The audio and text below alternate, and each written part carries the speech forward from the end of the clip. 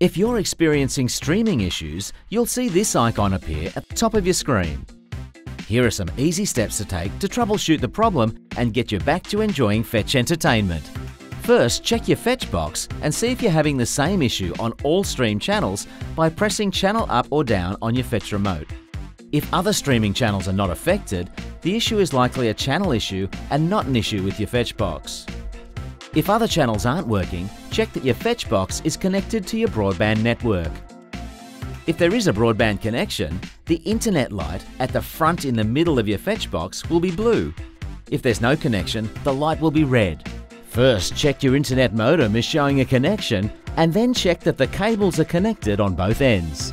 If the issue persists, you can reboot your Fetch box and modem.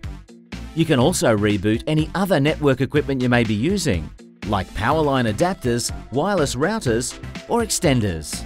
To reboot your Fetch box, press the power button on your remote and then the blue button when prompted.